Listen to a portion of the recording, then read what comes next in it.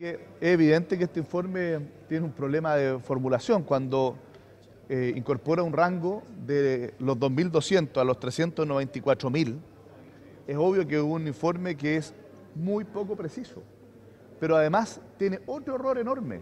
El supuesto con el que se calcula el impacto establece que el 5% se incorpora de una sola vez y no con la gradualidad de seis años.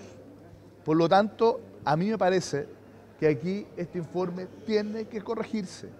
No es posible que un informe que entrega el Ministerio de Hacienda con el Ministerio del Trabajo tenga una ambigüedad tal que nos dicen que el impacto puede ser desde los 2.200 hasta los 394.000.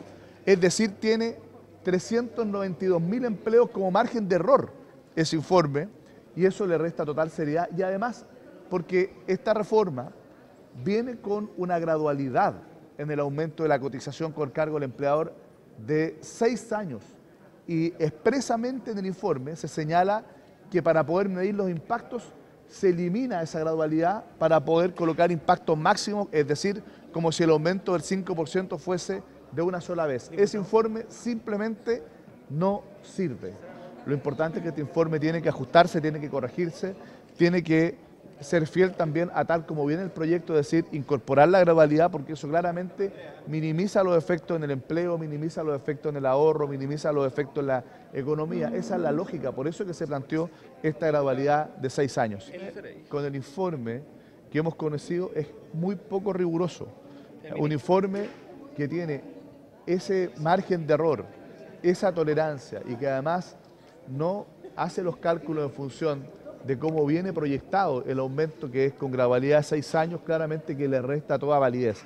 Yo lo que quiero hacer es invitar al ministro de Hacienda y a la ministra del Trabajo a que efectivamente eh, retiren ese informe de productividad y que hagan uno que sea preciso.